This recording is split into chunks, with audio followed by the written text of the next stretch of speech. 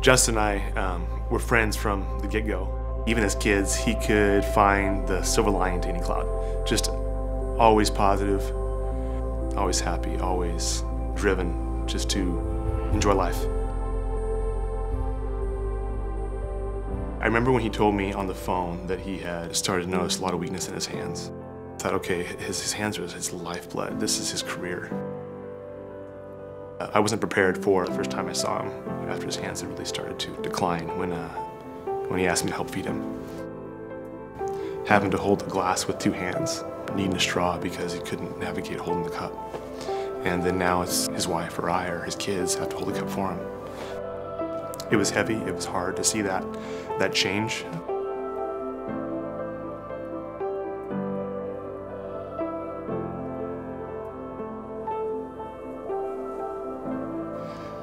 I've, I thought over and over, why not me? You know? Because in a second, I would trade places. In a second. I could see that dark, deep hole that you can go down. And I was on the edge of that. But then, life is too short to sit around and complain. And life is too short to go down that deep, dark hole.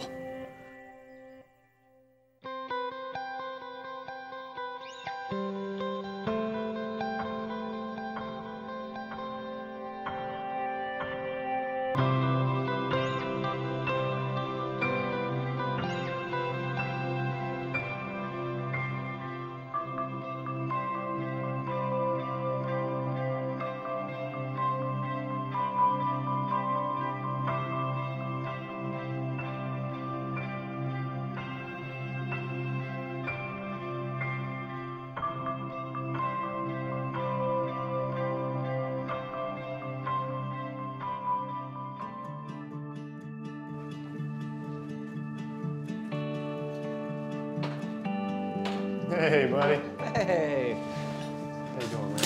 how's it going? Good. Aw, Thanks, buddy. You too, man.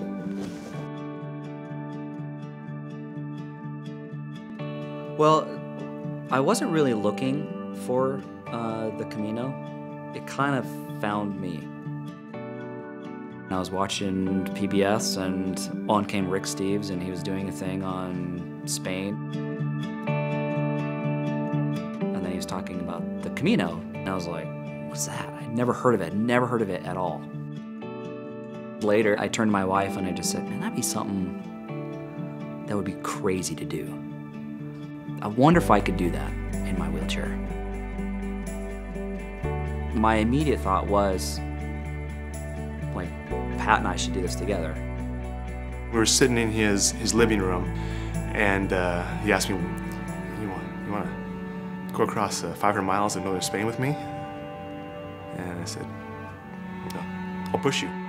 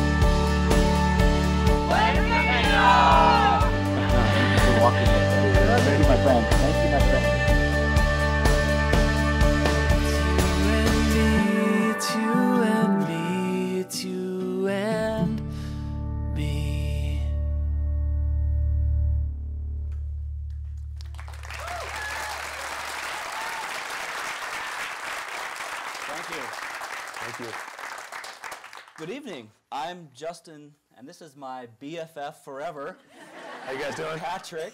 Uh, we, we have literally known each other our entire lives. We were born just over 36 hours apart in the same hospital, grew up in the same town, went to the same school, traveled together, went to church together. Uh, man, just lived life, seen its ups and downs, and uh, navigated life's many challenges together. So, speaking of challenges, I want to ask you a question. Have any of you ever had a challenge that's so great that you knew there was no way you could accomplish it on your own? The, the kind of task that pushes you to the limits of who you are. And the very limitations that you possess are what's going to hide success from you. So, speaking of limitations, we all have them. If we're honest with ourselves, we all have limitations. Justin's happen to be physical. But there's one thing that I've learned as I've been given the luxury of walking this path of life with Justin is that he's not an individual who is defined by his limitations. He is defined by what he is able to accomplish in spite of those limitations. Now, granted, some of those successes require the strength of others. But I would argue that if every one of us are honest with ourselves, a lot of the successes that we achieve in life can be attributed to the fact that someone came alongside of us and pushed us when we needed it. And so we'd like to kind of unpack this for you, uh, how impact or how community has uh, not only just personally impacted us, but how it could be important for you uh, as we move forward. And so, but before we do that, I want to kind of get you up to speed on what we actually did this past summer. And so here's a map of, uh, nor- of northern Spain. Uh, we successfully completed in 34 days the, the Camino de Santiago. It's an ancient pilgrimage. It's been around for quite some time, over a thousand years plus, if not more. Uh, many people do it for many different reasons religious, physical, just a challenge. Um, and I was just like, hey, I'll give it a shot. And I took a very specialized wheelchair. So I didn't take this wheelchair. I took a, I call it the, a three-wheeled baby jogger on steroids. That's basically what I saw it. So you'll see some pictures of it in a minute.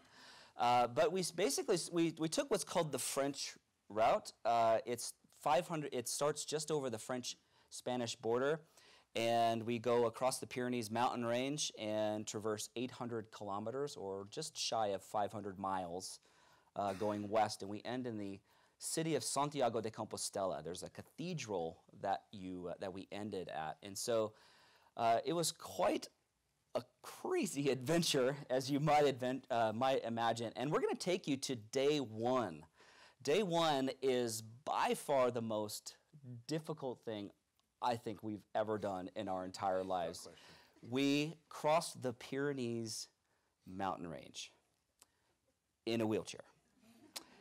Uh, and we'll show you some, here's some photos. So we took um, our buddy Ted with us. He's the guy out front in this one. And we're at the base of the mountain. Uh, we started in a little village called Saint Jean Pied de Port. And as we're climbing, it goes straight up, straight up for miles and miles and miles and miles. And here's Patrick about to vomit. Three miles in. Three miles up. Not good. Still at 10 miles that day. We'd come around the corner and there'd be 8 to 10 inches of mud for hundreds of yards with cliffs on one side, mountain on the other. Um, and there was no option. We had to go through it. And so as we're climbing and climbing, it ju- the, tr- the train was absolutely insane. And it was straight up all day. I can't even. So it's like I mean you can't you can barely see. Ted's like about to heave over in the back right there. So as you go to the go to the next slide, please. This is us finally summiting. Took us t- ten hours to finally summit that day. Uh, there's us looking into Spain. We actually crossed the French and Spanish border. 34 days left we had. And we realized one thing that you can pretty much do anything for a day. but we knew that we could we, we needed help it was very apparent and so patrick's going to talk to you about uh, day two and what happened to us next So you think about that phrase, you can do anything for a day. Uh, it implies that hmm, maybe you can't keep doing it. Well, we figured that out on day two, which is pretty early in a journey to figure out that, holy crap, we need some help. So uh, I don't want to say that we were cocky, but we were feeling really confident because we just come over the Pyrenees. So can I give you perspective? To our knowledge, Justin's the first person to conquer that mountain range on that specific path in a wheelchair. People cut through it on roads. People take the what's called the bike path, and a lot of people have done that in wheelchairs, but uh, not over the top, the Napoleon route. And so we're we're in day two. We're about four miles or so into it, and uh, this happens. That is supposed to be attached to the chair. so, what was was interesting about this is Ted's, Ted's uh, in, uh, behind Justin, pushing him. I'm out front, kind of scoping things out. We're in an area where there's some trees. We've crossed one river already. We're two miles from the nearest town. And I turned to rain. pouring rain. yeah, I turned to Ted. I'm like, dude, if we can do the Pyrenees, we got this.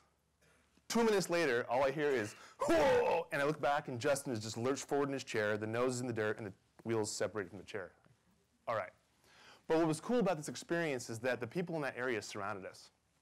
People we had, we had no idea who they were. They got us to shelter, they got us food, they got us water. They helped us navigate the, the, the country, so we got to Pamplona, and here we are in a medical supply store. And this gentleman that is uh, helping us happened to be the boyfriend of the girl who ran the counter at the medical supply store. Turns out he had an interest in welding. Thus began the game of the six degrees of the aluminum welder in Pamplona. Which is like, which is like a needle in a haystack, Yeah. by the way. But through what we believe to be divine uh, intervention, 48 hours after we broke the wheel, and I say we because it was a collective effort, we're back on the road headed westward to Santiago. And this was just the tip of the iceberg of what we were going to experience as this trip continued to unfold. And so now we're going to go ahead and skip to day 28. To give you to some perspective, we had already been on the road for three weeks, very road weary, very tired. Patrick's body start to get, starting to give out.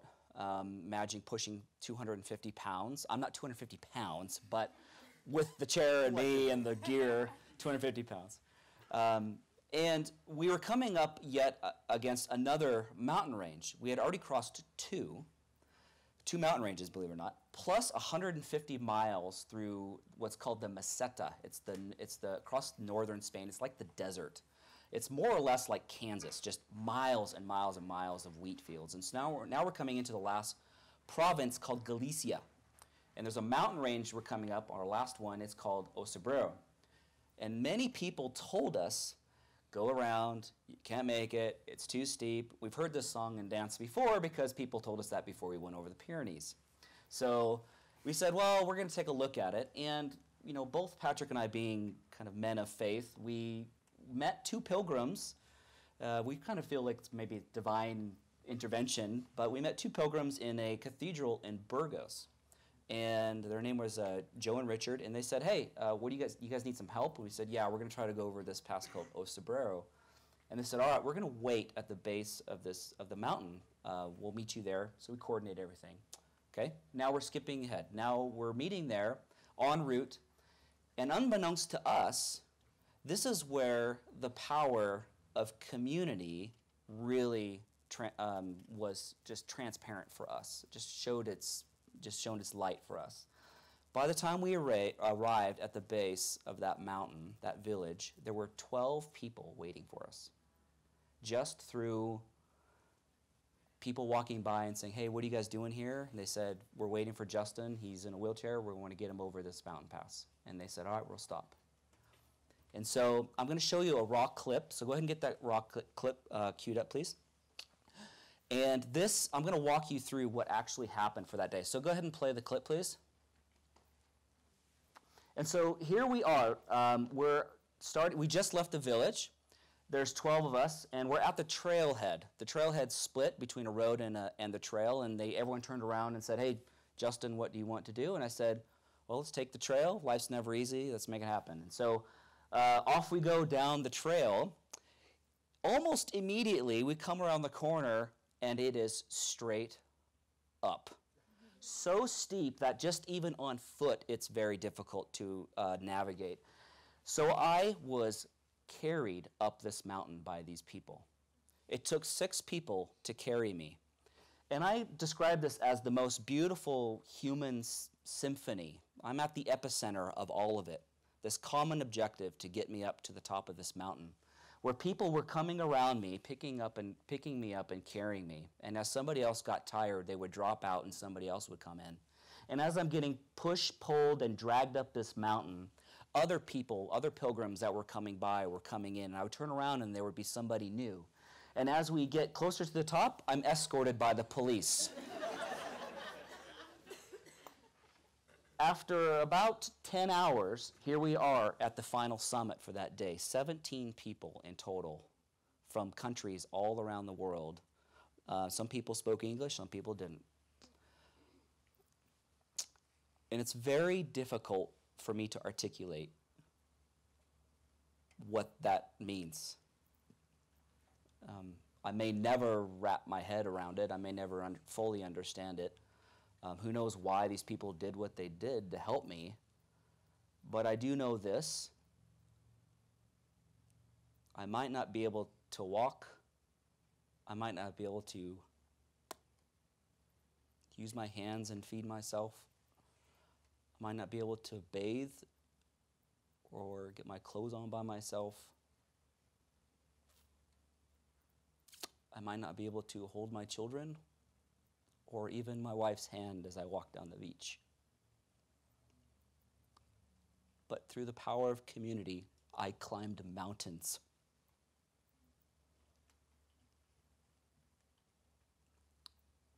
And I believe, I think we believe,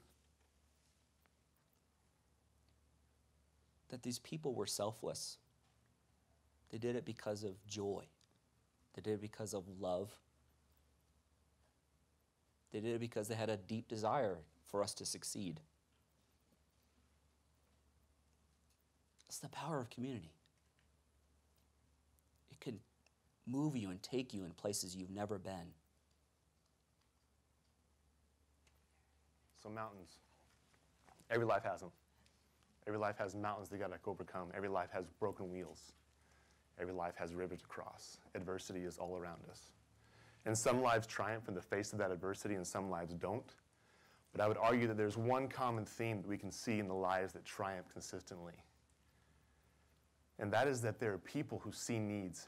They see someone who needs hands, who needs feet, who needs power, love, strength, whatever it may be.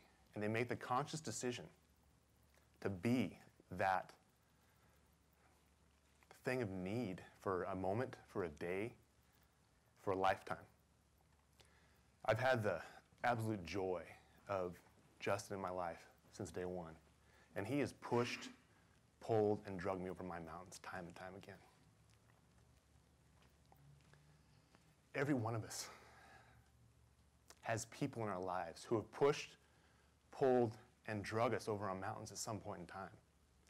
And every one of us has people in our lives who are desperate for hope, who are desperate for someone to come along and push them up the face of their mountains, over the precipice of the mountains, push them forward in life, push them beyond their limitations. So I want to close with a question Who are you going to push? Thank you. Thank you. Thank you.